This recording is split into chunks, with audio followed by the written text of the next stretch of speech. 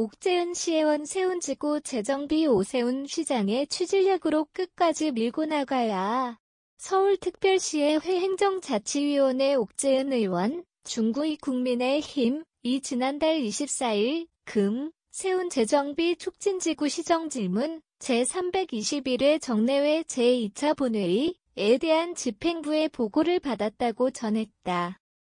옥재은 의원이 보고받은 내용으로는 세운 재정비 촉진 계획 변경안 주요 내용과 함께 추진상 문제점 및 대책, 향후 계획 등이다. 5개원은 세운 지구의 녹지 역사경관축 조성 공간인 세운상가 군의 경우 복잡한 이해관계 등이 얽혀 있어 개발과 정에서 민간 자본을 투입하더라도 진행이 더디게 될 수 있다고 설명하며 서울시에서는 종로구와 중구에만 맡길 것이 아니라 다양한 이해관계를 분석하고 최적의 방향으로 나아갈 수 있도록 적극 노력해야 한다고 주문했다.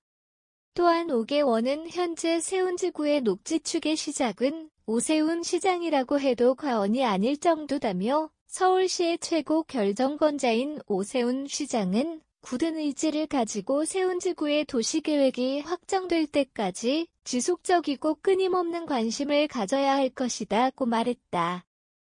그러면서 적극적으로 행정력과 재정을 투입할 수 있도록 방안을 마련하고 필요하다면 기존 계획되어 있는 도시계획시설 사업 외에도 추가적으로 도시계획시설 사업을 할 수 있도록 하는 등 사업을 주도적으로 이끌어 나가야 할 것이다.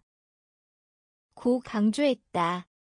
마지막으로 5개 원은 세운 지구의 도시계획은 79년부터 시작되었으며 지속적으로 바뀌는 재개발이라는 틀에 묶여 세운 상가군과 그 지역은 안정되지 못한 채 상권은 쇠퇴해가고 주변 지역 남개발의 흔적은 아직도 사라지지 않고 있어 이제는 오 시장의 강력한 추진력으로 지체 없는 세운 지구의 긍정적 변화를 기대한다고 말했다.